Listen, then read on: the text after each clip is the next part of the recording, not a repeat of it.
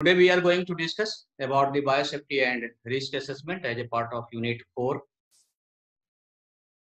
So we can define biosafety as a measures of containment principles, technology and practices that are mainly implemented to prevent the unintentional exposure to the pathogens or toxins or their accidental release. Mainly this terminology is used in terms of laboratory safety or laboratory conditions. What are the measures of safety of the laboratory? Basically, it works on three principles that are containment. First principle is containment. Second principle is practices. And third principle is technology. Which all principles are interrelated. Now we can see how we how to work safety with biological materials. So definitely we can say that we have to work safely with the biological materials by the use of the principles of biosafety that is containment practices and technology. So now we can see one by one principles. So containment, it is the safe method of, you can say managing the infectious agents in the inside the, you can say laboratory environments where they are handled or to be or maintained, maybe maintained. So mainly the purpose is to reduce in the exposure level, level of exposure or to the laboratory workers or the peoples that are associated with the laboratory environments or community or persons that are outside the uh, laboratory environments or we can say the environment or uh, reduce reduction in environmental contaminations. Three elements of containments. First is the practice and procedures. What are the practices and procedures you are performing inside the laboratory? Primary barriers, secondary barriers. Now later we see part is primary barriers and secondary barriers. These all three elements like a primary barrier, secondary barrier and practices and procedures leads to the reduction in or you can say acts as a exposure control. Now primary barriers that is mainly safety equipments. It includes biological safety, cabinets, enclosed container that is and other engineering control if available controlled design we can say to eliminate to eliminate or minimize the exposures from the hazardous biological materials that are handled inside the laboratory. It also includes the personal protective clothing or just equipments of PPE, that is personal protective equipments, face shield, safety glass, goggles, so barriers or safety equipments form a barrier between the persons that are dealing with or associated with the laboratory environments and the infectious materials that are handled inside the laboratory environment. Now, biological safety cabinets that acts as a primary barrier. So it is the principal device that provide containments of the, you can say, infectious organism, either there are splashings or by uh, aerosol generations by during the many you can say microbiological procedures maybe during pipetting maybe during inoculations or likewise. So effective for effective uh, you can say controls or capture of these uh, microbial contamination the biosafety cabinets are provided with the um, HEPA filters or maybe some biosafety cabinets provide uh, fitted with the ULPA filters so HEPA means high efficiency particulate air or ULPA means ultra low particulate air. So HEPA has capacity to capture at least 99.97% of the organisms that have a diameter of less than 0.3 microns. And ULPA uh, have the capacity to capture the microorganisms up to a 99.99% that have diameter of uh, about uh, 0.12, 0.12 or uh, you can say micron micrometer or uh, you can say more. So most of the bacterial or viral organisms are, you can say, captured by these filters that is fitted in biological safety that are fitted in biological safety cabinets. So based on there some, you can say, actions or ability of these equipments or their mode of actions, the various biosafety cabinets are classified into class 1, class 2 or class 3 cabinets. So here we can see the different types of the biosafety cabinets or their uh, airflow, the capacity to handle radionuclides or uh, toxic chemical, the reuse in various uh, biosafety levels laboratories, and finally the their protection levels. So class one, that is open front, the front part of the biosafety cabinets is open. It have a face velocity, have 75 fpm of face velocity. Airflow pattern, that is the front airflow, airflow from enter from the front sides and exist, exist from the either rear, that is the back side or the top of the top through the HEPA filters. It have no capacity to handle, in this we can handle radionuclides or toxic chemicals. It may be used in biosafety level 2 or 3 laboratories, but in this there is a major demerits. The there are mainly chances of contaminations of the product you are handling inside the cabinet. So class next higher version or more protective that is the class 2 type and again there are various type of the class 2 type that is type A1, type A2, type B1, type B2. So again type A1 have face velocity of 75 and they, they in this there is a benefit that 70 percent of the air that enter inside the cabinets are recirculated through the HEPA filter. So there is, it reduces the load on HEPA filter and exhaust air are also exhausted through the HEPA filters. Again, it may be used in biosafety level 2 and 3 laboratory. It have the benefits of product protection and product protections.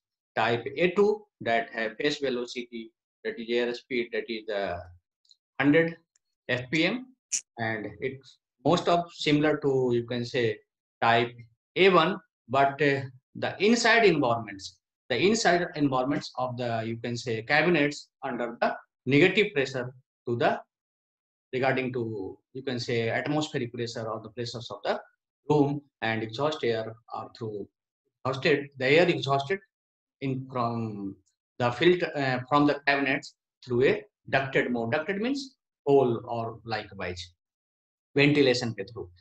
So again, it have capacity to handle radionuclides and toxic chemicals, but it may be used in biosafety level 2 and 3. It have also the benefit of product protection type B1s that again have a 100% face velocity. It have only difference that is only 30% of the air that is goes inside the biosafety cabinets that recirculated through the HEPA filter and the exhaust air also exhaust through the HEPA filters with hard duct permanent structure. So it have again similar, you can say it may be biosafety level 2 laboratory or 3 laboratory, uh, it have benefits of protections, biosafety level type 2, type B2 that again no in, this type B2 there is no facility of recirculation of the air. Total air that enter inside the cabinets are exhausted to the HEPA filter with a that is hard with a hard duct. And again, similar use. And type 3, that is the most important. It uh, air supply air inlets and exhaust through the two sets of the HEPA filters or maybe ULPA filters. And uh, Again, it have benefits of the product protections or like. So this is simple modules of, uh, you can say, biosafety cabinet one, class one, biosafety cabinet, class one. So here enter inside this and maybe you charge through the this side say or up to the HEPA filters. this is a type A1s. So here that is actually this image animated image.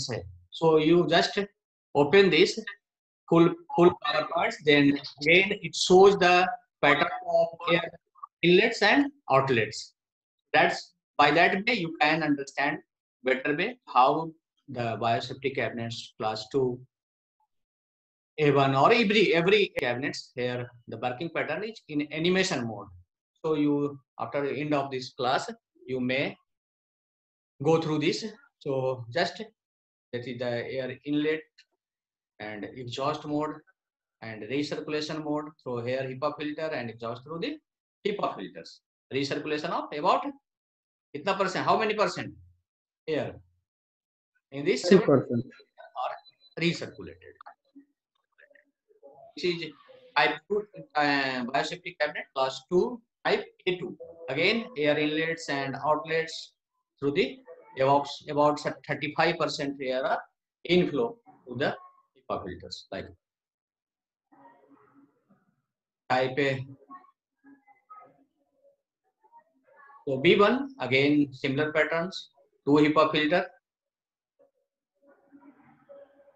Type B2 that may be fitted with the uh, HEPA filter or ULPA filter and it have the major benefits of use of the biosafety cabinet theory there is no direct contact between the persons involved in laboratory procedures as well as the product. So here persons, the safety of the persons is, uh, you can say more important. Here all three things, the persons who are handling the infectious material, the product you are handling and the environment. All three are safe here. So here nothing is, by this mode, by this uh, external outlets, we have the facility to enter the all things inside the cabinets and outlets of exit of all the all the you can say materials that are you handled after maybe a burning process that is maybe a sterilize after sterilization you may outlets by taking the certain precautions you are able to work in biosafety cabinets safely Uh, for the protections of the yourself or protections of the you can say persons involved in the laboratory protections of the product production of protection of the environments.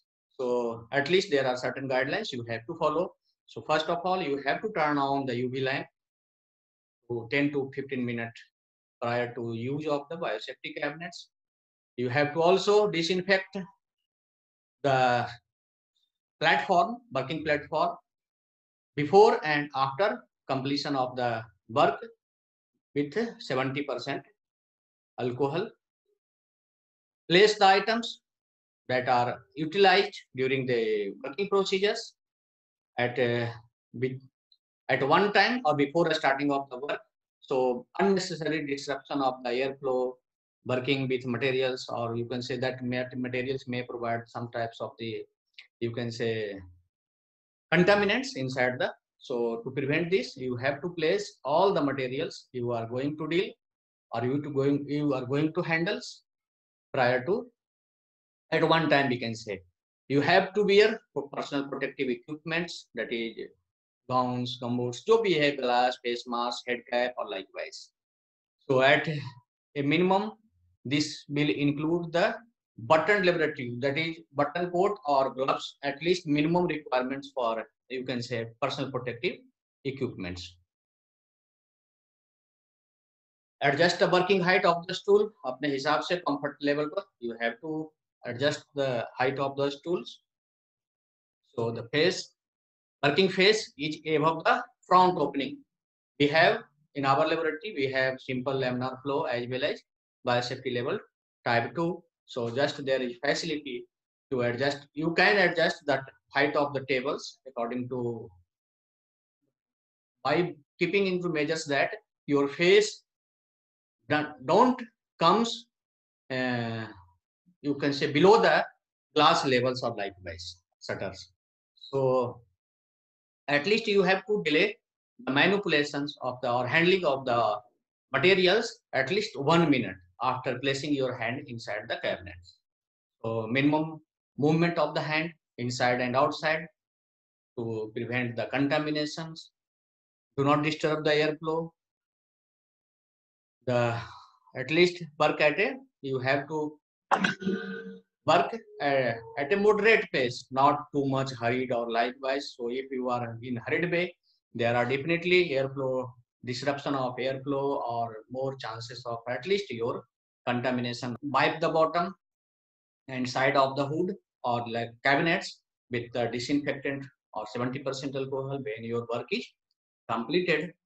Now the secondary barriers. Secondary barrier means facility designs.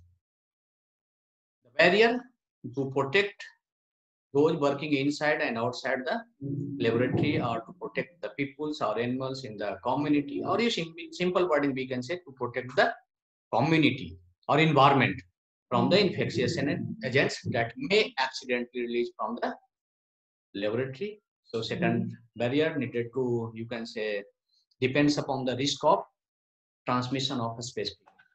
Actually, for your information, these all infectious agents are mainly divided into risk groups depends depends upon their, their transmission ability and causing of disease among humans or their ability of the treatment and vaccines. So the risk group first mainly deals with the, those organisms that are you can say well characterized and mild or no disease that have no capability causing disease in human beings.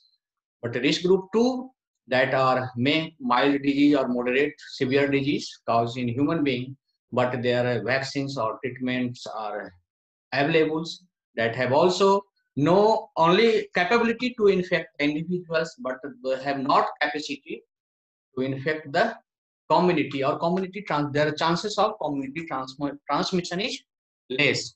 And risk group three organisms those organisms that are categorized as risk group three organisms that uh, are, you can say, known for severe disease, known to cause severe disease in human beings. Again, their treatments may be available or vaccines may be available, but uh, you can say there are more, you can say, chances of individual transmission. But again, there are less chances of community. This group fours are those organisms that have, you can say, pure new organisms that are not any not characterized or that have more chances of individual transmissions as well as community transmissions no treatment no vaccines or no you can say you can say control measures are you can say available. So those organisms are categorized as risk group four organisms. So again you have to take care of about risk group 3 and risk group 4 organisms. So major major precautions we have to take uh, during handling of these this group 3 and this group 4 organisms because these two or group of the organisms are more dangerous for the individuals as well as more dangerous to the community. So every new organisms that arises or reoccurs or you can say emerged are placed into the risk group 3. Based upon the risk group, we there are the recommended guidelines or that are you can say simply classified as biohazard level 1 biohazard level 2 biohazard level 3 and biohazard level 4 the dc classification. The definition remains? Same of the risk group. So accordingly we have to handle these organisms inside the laboratory in biosafety level 1 biosafety level 2 biosafety level 3 or biosafety level risk groups or you can say we need the secondary barriers that are mainly facility designs. What are the facility available to you can say act as a, yes, as a barrier to for these organisms? So these are you can say that are mainly classified at biosafety level laboratory. That is biosafety level biosafety laboratories primary barrier biosafety cabinets or personal protective equipments. Secondary barrier that is the laboratory conditions or designs of the laboratory. So accordingly, there are four type of the biosafety level uh, laboratories. So first of all is biosafety level one laboratory. It's suitable for working with the well characterized agents, non not, not known to cause disease in healthy adult humans and uh, of minimum potential of hazards to laboratory persons as well as environments. Accordingly, the definitions of the risk groups or biohazard levels. So certain examples, there are a lot of examples here, but we can put only limited examples. So Bacillus subtilis, infectious canine hepatitis virus, Escherichia coli.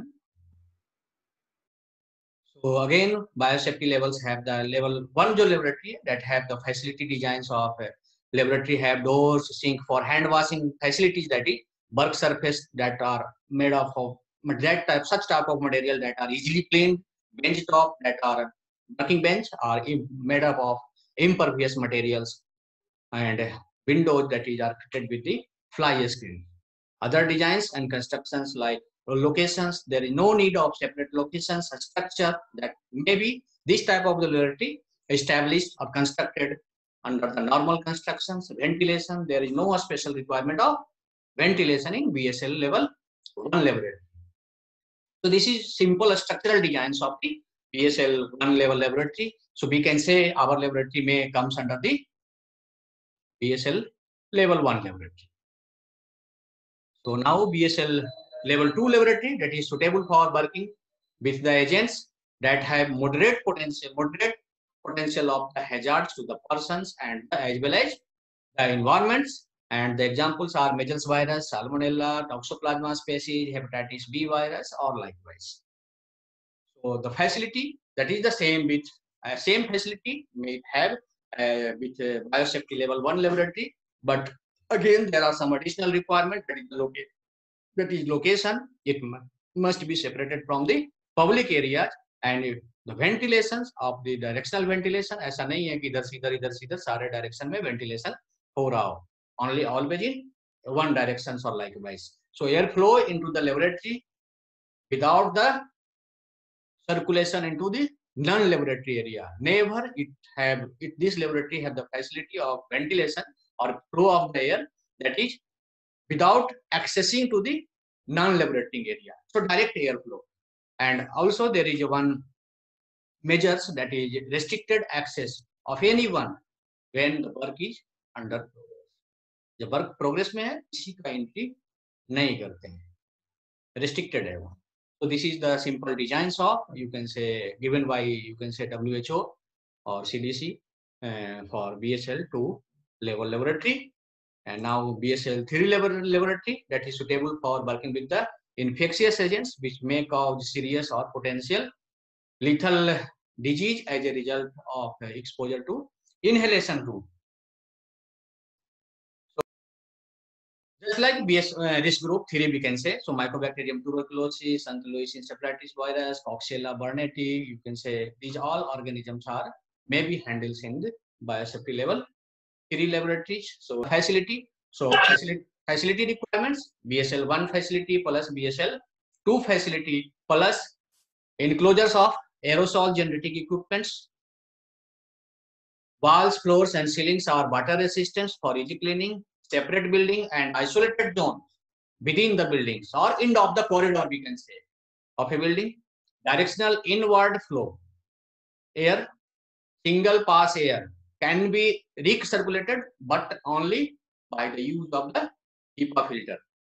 Additional requirements depending upon the bulks and agents HEPA fitted with of the exhaust effluent decontaminants contaminations personal shower that may be available in BSL 3 laboratories. So without, you can say, facility of, you can say, personal shower, the laboratory graded as BSL 2 plus laboratory nowadays. So if the facility of uh, personal shower during inside, uh, entry and exit, that is can, that may upgraded uh, into the BSL 3 levels, but without this facility that are graded as BSL 2 plus laboratory. This is the simple designs.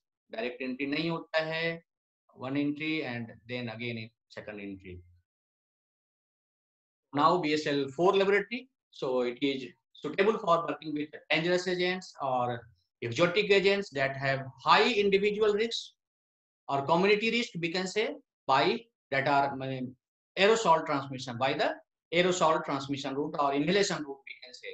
Agents have the ability to cause severe fatal disease in the humans for which vaccines and other treatment measures or control measures are not available. So entrance and exit contain multiple shower, a vacuum room, an ultraviolet light room, other safety precautions designed to destroy all the traces of the biohazard. Means no entry or no exit of the microorganisms. Multiple airlock, electronically secured to prevent both doors opening at the same times. दोनों door एक साथ नहीं open होना चाहिए all air and water services going to and coming from the undergo similar decontamination process से जाना गुजरना है उसको to eliminate the possibility of accidental release so ebola Zaire virus Rift Valley fever virus और जो भी कोरोना कोरोना जितना भी डालना है आप इसमें BSL 4 में आप डाल सकते हैं simple this is the basic designs of the BSL 4 laboratories so first sober then again then working, then again sober or likewise, then ready for working with the uh, working inside the laboratory. So agents with a close or identical antigenic relationship to by BSL4 agents are handled at this level until sufficient data is obtained either to confirm continued at this level or so after characterization of the organisms, the level or risk groups of the organisms may be shifted well characterized when treatment or vaccines are available against all newly origins or comes under this. But when they are well characterized, vaccines or treatments are available, then may shift to the lower level or of risk group, that is the risk group three or or somewhat lower. Uh, so we can accordingly we can manage or handle these organisms in the uh, recommended laboratory. So specific and through training of the handling of extremely uh, needed. So all persons that are involved in the inside the laboratory, working with the laboratory or with the these agents required a special training. Access to the laboratory are strictly controlled. Nobody allowed to enter inside the laboratory. Facility may be either in mainly in separate buildings and a controlled area within the building, which is completely isolated from the other area of the building.